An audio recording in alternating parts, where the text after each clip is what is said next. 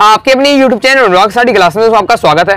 जैसे कि दोस्तों आपको पता हमारा नेक्स्ट पेपर है कक्षा बारहवीं का 21 फरवरी को इतिहास विषय का है। लगातार हम इसकी भी तैयारी करेंगे, जिस प्रकार से हमने अन्य विषय की तैयारी करी, इससे पिछले वाले सब्जेक्ट की तैयारी करी होगी तो इससे पहले दोस्तों मैं आपको तैयारी कराने से पहले ओके पढ़ाने से पहले दोस्तों आपको क्या है क्लास ट्वेल्थ के एमपी बोर्ड के 2023 के टॉपर के इतिहास विषय की कॉपी दिखाने वाला हूँ कि टॉपर ने इतिहास विषय के पेपर में 2023 में किस प्रकार से लिखा, जिससे वह टॉपर बन सकोगे कौन कौन से इसके तरीके ने यूज़ किए जिससे इसे फ़ायदा मिला टॉपर बनने में ओके तो हम देखने वाले हैं, क्योंकि आपको पता है, आप जितना अच्छा पढ़ लें, जितने अच्छे ज़्यादा मटेरियल याद कर लें, लेकिन अगर बोर्ड के एग्ज़ाम की कॉपी में आप अच्छे से नहीं लिख पाते हैं तो आपको फिर नंबर नहीं मिलेंगे, चाहे आप जितने बुद्धवान होंगे तो लिखना बहुत ज़्यादा महत्वपूर्ण होता है तो इसलिए इससे हमें कुछ सीखने को मिल सकता है टॉपर की कॉपी से तो हम देख लेते हैं चलिए देख लेते हैं, किस प्रकार से इतिहास के विषय में टॉपर ने लिखा होगा तो इसके मांगा पहले का उत्तर लिखा पॉइंट वाइज पॉइंट लिख दिया, इसको बेहतरीन तरीके से, कोई दिक्कत नहीं होगी इसी बार से आपको लिखना है। फिर नए दोस्तों आपका प्रश्न दूसरा, प्रश्न दूसरे में क्या था? आपका रेगिस्तान की पूर्ति करना पड़ता है तो इसने क्या किया भैया? किसने क्या पूरा क्वेश्चन लिखा? फिर आंसर लिखा। ओके आंसर भी इसका और आंसर को हाईलाइट कर दिया। लेकिन आपको ये गलती बिल्कुल भी नहीं करनी है। आपको केवल और केवल आंसर आपको लिखना है। जैसे इसका पहले का आंसर था चर्ट ओके दूसरा क्वेश्चन था कि मैं विवाह के आठ प्रकार को वर्णन किया गया है? तो मनुस्मृति में आठ प्रकार प्रकार को वर्णन किया है। इसने धर्मशास्त्र लिख दिया, इसका पूरा गलत हो गया ओके तो इसका आंसर था मनुस्मृति। तो मनुस्मृति बस केवल इसका आंसर लिखना था। तो आपको ध्यान रखिए, पूरा क्वेश्चन नहीं उतारना है। केवल केवल सॉल्यूशन लिखना है। ऐसा इसने क्यों किया? इसे पूरा कॉन्फिडेंस होगा स्टॉपर को कि मैं तीन घंटे में पूरा अपना बेहतरीन तरीके से इतिहास का पेपर हल कर पाऊँगा। इसलिए इसने क्या है, पूरा क्वेश्चन भी लिखा। लेकिन आप ये नहीं करिएगा, क्योंकि अधिकतम पंचानवे परसेंट क्या है टाइम कम पड़ जाता है इतिहास के पेपर में वो पता ही है इतिहास में आपको पूरी थ्योरी लिखनी पड़ती है तो टाइम बहुत कम लगने लगता है। तो आपको केवल केवल आंसर लिखना है, जैसे पहले का चैट दूसरे का मनुस्मृति, तीसरा चौबीसवा ओके इसका अल किताब अलविंद अलविन्नी फिर शाहजहां, इस प्रकार से आपको लिखना था क्वेश्चन क्वेश्चन अब देख, आपको सही जोड़ी में आपको क्या करना है, इस साइड आपको क्या है क्वेश्चन लिखना है, इसका जो उत्तर हो, वो आपको उत्तर लिख दीजिए ओके इसके बाद नेक्स्ट आपको क्या है, इसके मांग आपका चौथा है, जिसमें आपको क्या है, इसमें अब इसमें इसमें पूरा क्या है इसने पूरा क्वेश्चन का क्वेश्चन लिखा है, फिर सॉल्यूशन भी लिखा है। तो आपको केवल केवल आंसर लिखना है ओके जिसमें आजकल हरी श्रीनिवास नाम तो हरी श्रीनिवास लिख देना ओके साझी खोज का भी अठारह में तो केवल सौ अठारह सौ अठारह से लिखना चाहिए ओके तो आपको केवल आंसर लिखना इस बात का ध्यान रखिएगा। अब देख लेते प्रश्न पांचवा। प्रश्न पाँच में सत्ता सत्ता है तो इसने क्वेश्चन भी लिखा, फिर सत्ता सत्ता लिखा। तो ये भी आपको नहीं करना, केवल केवल क्या सत्ता सत्ता आपको लिख दीजिए पता ही है ओके अब इसकी स्पीड फास्ट होगी, अच्छे से लिख पा रहा होगा ओके तो इसका अनुभव भी होगा, इसलिए इसने क्या है, ऐसा किया है। बाकी आपको क्या है, केवल केवल आंसर लिखना है। अब देख ले किस प्रकार से इसने क्वेश्चन के सॉल्यूशन दिए। देखिए प्रश्न छठ में पूछा गया था फ्यांस क्या है दो में तो फ्यांस किसने उत्पाद से तीन लाइन का उत्तर दिया बेहतरीन तरीके से। और देखिए, बढ़िया हेडिंग दे दी ओके और इंग्लिश में बनता तो इंग्लिश में लिख दिया। तो इसमें बढ़िया स्टार भी बना दिया। तो इसका अलग ही हेडिंग बता दिए, या फिर आपको इतना स्टार वगैरह नहीं बनाना है तो फ्रांस लिखकर आप बॉक्स बनाकर उसका आंसर लिख दीजिए ओके फिर देखिए इसके मांग सातवीं का आंसर लिखा तो फ्रांस वारी पूछा जा रहा फ्रांस वारी कौन था? फ्रांस वारी कौन था? बॉक्स बनाकर या इस प्रकार से लाइन खींचकर लिखा होगे नेक्स्ट प्रश्न मांग आठवां, जिसने अथवा वाला किया तो अथवा मेंशन कर दिया कोष्टक में फिर क्या पूछा जा रहा था? भक्ति परंपरा के दो भागों को बताना था तो सगुण होती है, निगुण होती है। ये मुझे सबसे बेस्ट तरीका लगा। क्योंकि ये जो तरीका इसने अपनाया है, आगे मैं आपको कॉपी दिखाऊँगा, मैंने भी कॉपी पूरी देखी है अब। तो ये बहुत ही बेहतरीन तरीका अपनाया है। ये जो है एमबीपीएससी या यूपीएससी में ये तरीका अपनाया जाता है बॉक्स बनाकर अलग ही मेंशन करना डिज़ाइनिंग दार ओके तो ये इसने इस तरीके को एमपी बोर्ड के एग्ज़ाम में भी अपना लिया ओके अच्छा तरीका आप अपना सकते हैं ओके लेकिन आप क्या है, समय का ध्यान रखकर क्या है, इसको फास्टली आप प्रैक्टिस कर लीजिएगा ओके जैसे भक्ति परंपरा की दो भाग है तो मैं लिखता तो सीधे सगुण और निगुण एक लाइन बता देते ओके लेकिन इसने बेहतरीन तरीके से बॉक्स बनाकर इसको मेंशन किया ओके तो ये भी एक अच्छा नया तरीका मुझे देखने को मिला है, जो भी क्या है, इसने बोर्ड एग्ज़ाम में अपनाया ओके आगे देख सकते हैं।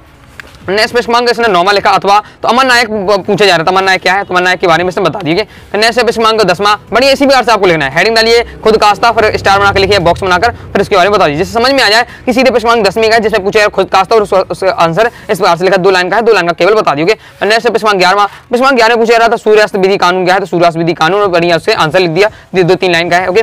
इस प्रकार से फिर नेक्स्ट प्रश्न बारहवा का आंसर तो प्रश्न बारहवीं का आंसर लिख दिए प्रश्न तेरहवा अभी ये भी देखिए प्रश्न तेरह में क्या पूछा जा रहा था कि लाल वाल बाल लाल पाल बाल के नाम से किसे जाना जाता है? बेहतरीन तरीके से लिखा। तीनों बढ़िया तीन बॉक्स बनाए। इस साइड लिखा लाल फिर बाल फिर पाल फिर लाल से बाल लाला लाजपत राय बाल से बाल गंगाधर तिलक बाल से चंद पाल। तो बेहतरीन तरीके से लिखा। अपने क्या है क्रम से पॉइंट वाइज पॉइंट लिख देते लेकिन इसने क्या है बेहतरीन तरीके बॉक्स बना के दिखा जिससे क्या है आप दूरी से देखेंगे तो कॉपी अलग ही दिख रही है। इतना अच्छा दिखेगा उतने उतने ही फास्ट आपको क्या है टीचर आपको नंबर दे जाएगा फास्ट ही। और जितनी जल्दी आपको नंबर फास्ट मिलेंगे तो समझ नेक्स्ट देख लेते हैं फिर प्रश्न चौदह में अथवा किस प्रकार से पूछा जा रहा था?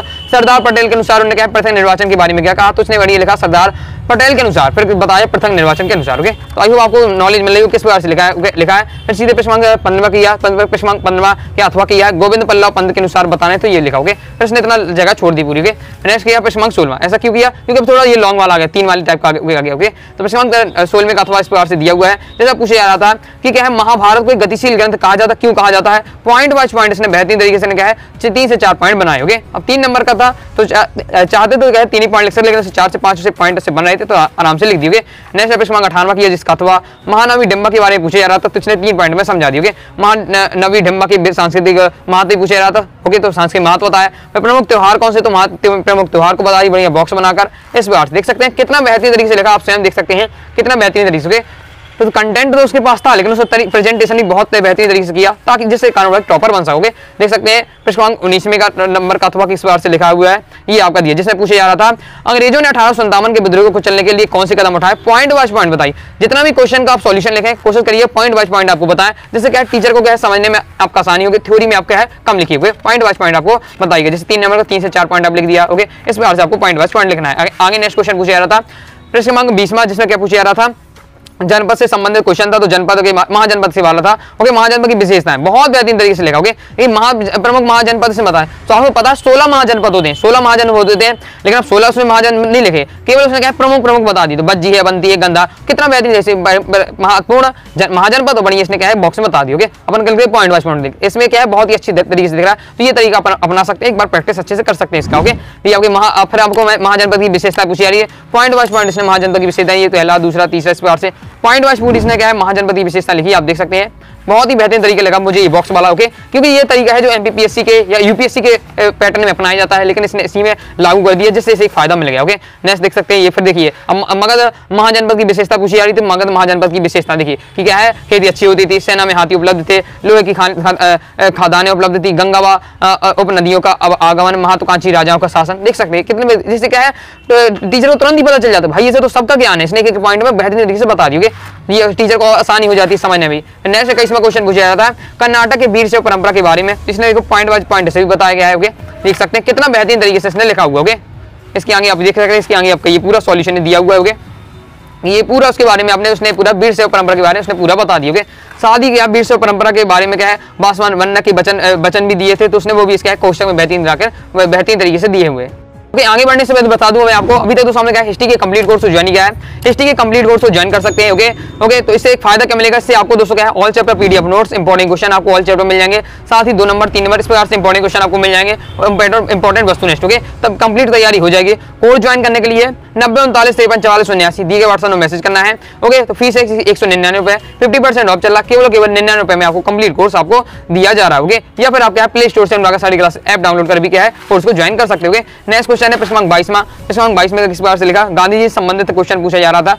पूरा इसमें बेहतरीन तरीके से बताया जिसमें पूछा जा रहा था। स्वाधीनता आंदोलन का नेतृत्व के बारे में बताया गया है। ओके देख सकते हैं। मतलब गांधी जी के बारे में पूरा पूछा गया था कि गांधी जी की गतिविधियाँ बतानी थी आपको। तो उन्होंने क्या क्या काम किए? ओके हेडिंग वाइज बताया, समाज सुधार के लिए क्या काम किए?